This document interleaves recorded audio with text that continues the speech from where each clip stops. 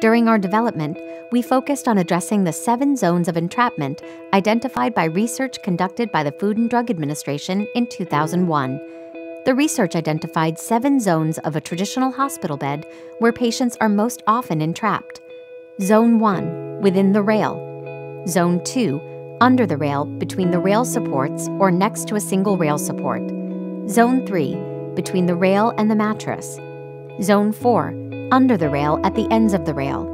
Zone 5, between split bed rails. Zone 6, between the end of the rail and the side edge of the headboard or footboard. Zone 7, between the headboard or footboard and the mattress end. These zones represent a special danger for children with disabilities or mobility challenges. The SleepSafe bed addresses the zones of entrapment through a functional, patented design.